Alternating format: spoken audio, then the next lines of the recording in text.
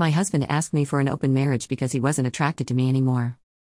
About one year ago, my husband, female 39 and male 48, told me that he wasn't sensually attracted to me anymore. I kind of understood that because when our second kid, male 4, was born, he hasn't made love with me. He said he loved me more than anything in the world and that the rest of the relationship was perfect, but he needed to make love or he would go crazy. I was taken aback, but I started asking him about the definition of open marriage and we discussed it over a few weeks. To be honest, I was feeling sensually deprived and the idea started to grow on me. I said yes and asked if there were any rules, and he said usually every couple had their own rules.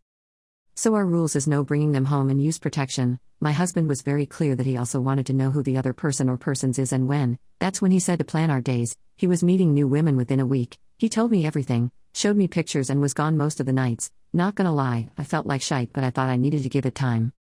I was more careful, however, because I needed to know the people I made love with and have at least had some kind of feelings. I started to relax more and flirt back with guys. One of them is a client, Jay, male 36, at the bank I work for. Not my client, but he sees me often, and he always been pleasant and extra chatty with me. Now I started flirting about a month ago. I finally decided that I was ready to start sleeping with others. I told Jay about my arrangement. He was disappointed at first, but then he said he was in. I went home to my husband and asked him if he was going to do anything that Friday, and he said no. I told him that it was good because I needed him to be with the children. I showed him Jay and told him I was meeting him Friday. He was silent.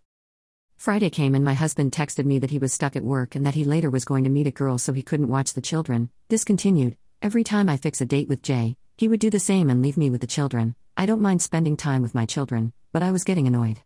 Anyway, last Monday I had no meetings at work after lunch, which often means that I don't need to stay in place. I texted Jay if he wanted to meet and he was at home. My children are in daycare. I went to his place and it was amazing. I have missed this so much the feeling that I'm desired in someone's eyes and is filled with lust for me, my body. When I got home, I told my husband, and he was livid because I didn't tell him beforehand. I broke a rule. I told him that I didn't. He knew that I was seeing this guy and that I've been trying to make time. Anyway, he didn't speak to me the rest of the evening. He woke me up in the middle of the night with gentle kisses and touches, and we made love three times, first time in almost five years, and we have made love every night since. Now he's saying that he is attracted to me again, and that's why we need to close the marriage again, but I don't want to. I like having other options, and we're not hurting anyone.